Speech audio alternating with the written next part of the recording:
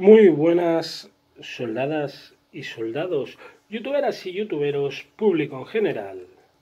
Y sí, sí. A las panteras rosas en particular. Sí, señor. Venga, nos vamos al grupo I. I de inutilidad, como algunos tienen para pronosticar la UEFA Europa League. ¿Qué se les va a hacer? Además, hablando claramente, sinceramente, la gente lo entiende mejor.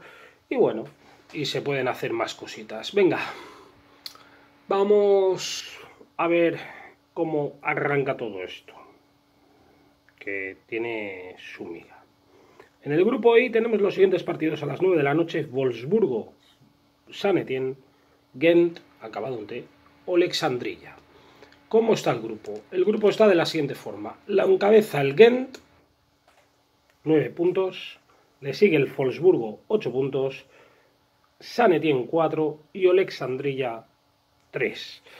Evidentemente no hace falta ser un genio de las matemáticas ni, ni de las criptomonedas como Lepix para saber que este grupo está sentenciado los dos clasificados. Van a pasar el Ghent y el Wolfsburgo.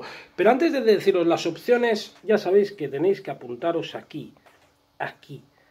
No solo a soldados, que, si queréis lo podéis hacer por 15 euros el mes, ya sabéis que acabó la promoción de los 10 euros, pero os podéis apuntar y, tendréis regalo seguro de un mínimo de 10 euros en el sorteo del gordo de Bet Soldiers.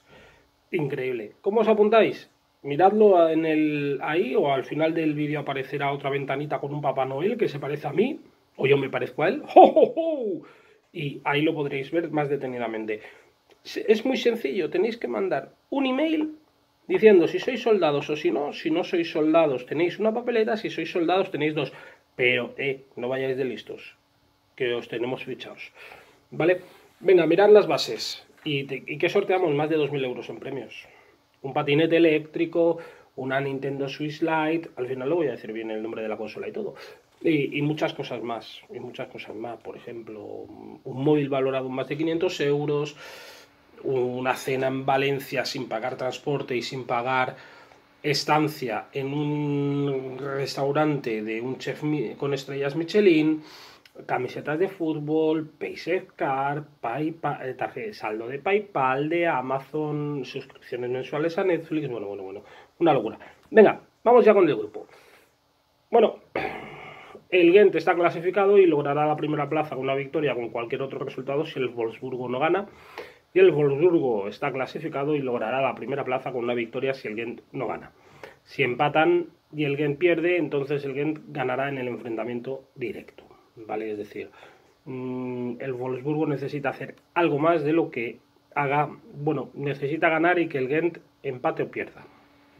Dicho en cristiano. Los partidos, encima ambos juegan en casa.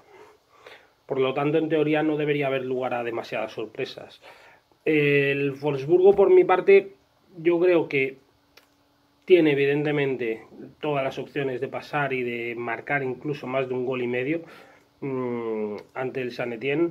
Pita un árbitro inglés, así que en teoría, en teoría, debería haber un poquito de permisividad con el juego. Tampoco el San Etienne es un equipo muy físico, eso sí, Mm, pero el Wolfsburgo yo creo que con talento seguramente se termina imponiendo al equipo francés. El partido tiene pinta de 1-0, de 2-0, ¿vale?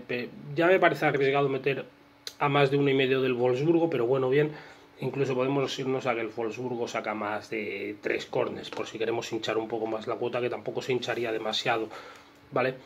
Eh, por esa parte, y el partido del Gento Lesandrilla Creo que no tiene ningún misterio tampoco. El Gent mm, debería ganar.